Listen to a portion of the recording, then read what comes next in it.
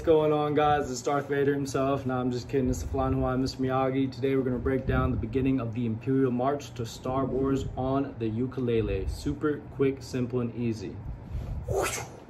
What you want to have is your ukulele tuned in the standard G, C, E, A. And this one's going to start right here on the open first string then you're gonna find the second string on the first fret.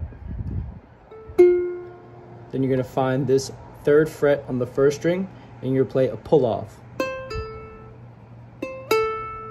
What I like doing is just kind of moving it to the side, get a clear sound.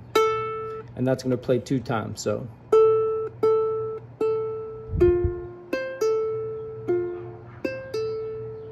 The second part, you're gonna move up to the seventh fret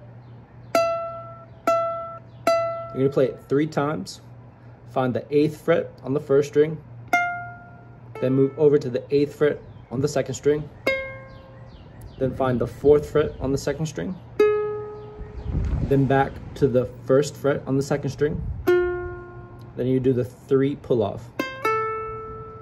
And that is a very quick, super introduction to the Imperial March, Star Wars extra bonus feature today. If this video gets over 500,000 views and 69 comments, I will choose a winner for these free exclusive Star Wars Vans shoes.